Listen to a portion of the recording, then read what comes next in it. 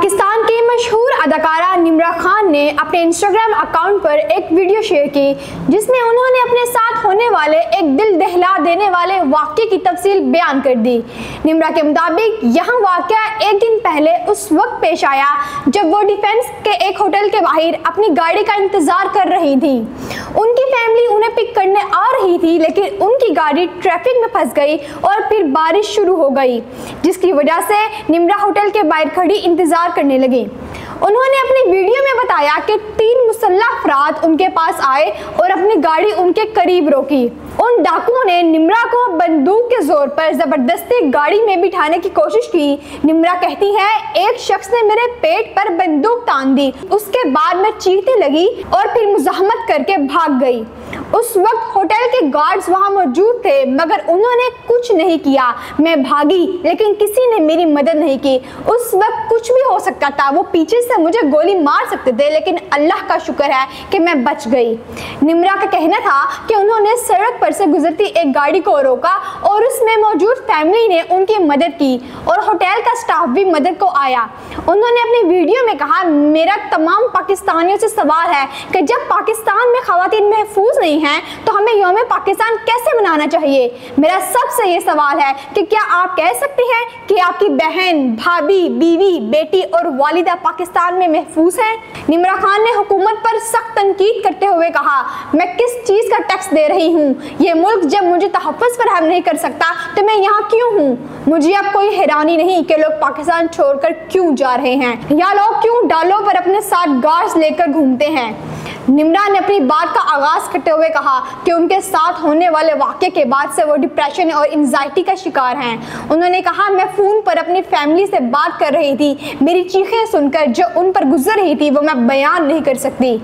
मेरी वालदा इस वाक्य के बाद हॉस्पिटल में दाखिल हो गई हैं। निमरान ने अपनी एक दोस्त के बारे में भी बताया, जो इस्लामाबाद के एक वाक्य की शिकार हुई थी। उनका कहना था, इस्लामाबाद में मेरी दोस्त की दोस्त के साथ ये हुआ। उसको अगवा किया गया और वो आज तक नहीं मिल सकी। मेरे साथ भी ऐसा होता तो कुछ दिन तक तस्वीरें सोशल मीडिया पर रहती, फिर सब भूल जाते। निमरा खान की इस वीडियो पर पाकिस्तान की हर मशहूर शख्सियात ने अपने कमेंट्स दिए और इस वाक्य पर अफसोस का इजहार किया। अदाकारा सनम जंग ने कहा, निमरा, मुझे अफसोस है कि आपको इस सबसे गुजरना पड़ा। आपकी वीडियो देखकर मेरे आँसू निकल आए। मैं महसूस कर सकती हूँ कि जिस तकलीफ़ से आप गुजरी हैं, अल्लाह आपको, आपकी फैमिली को और इस मुल्क के हर फर्द को महफूज रखे। निमरा खान के साथ होने वाला ये वाक्य सिर्फ़ एक इंसानी वाक़ नहीं, बल्कि ये पूरे मुआरे के लिए एक आईना है। आज हम अपने मुल्क की हुकूमत से ये सवाल करते हैं, क्या ये वो पाकिस्तान है जहाँ खातन महफूज हैं, जब निमरा खान जैसी मशहूर शख्सियत को दिन दहाड़े अगवा करने की कोशिश की जा सकती है तो आम खातन किस हालात में हैं? हुकूमत का ये फ़र्ज़ है कि वो अपने अवाम को तहफ़ फराहम करे, मगर ये वाक़ बता रहा है कि हम कितने महफूज हैं। निमरा खान ने बिल्कुल ठीक कहा, क्या ये मुल्क मुझे तहफ़ दे सकता है? जब ये मुल्क, ये बुनियादी फ़र्ज़ अदा नहीं कर सकता तो हम अपने मुल्क से क्या उम्मीद रखें? हमारी हुकूमत को ये सवाल अपने सामने रखना चाहिए कि वो किस किस्म की हिफाजत अपने अवाम को दे रहे हैं। ये सवाल हर पाकिस्तानी को सोचना चाहिए और हुकूमत को अपना हिसाब देना होगा कि उन्होंने किस चीज़ की हिफाजत हमें फराहम की है। इस वाक़े में जो सबसे ज़्यादा दिल दुखाने वाली बात थी वो ये थी कि वहाँ मौजूद लोगों ने कुछ नहीं किया। होटल के गार्ड्स जो वहाँ थे, उन्हें सिर्फ़ तमाशा देखा।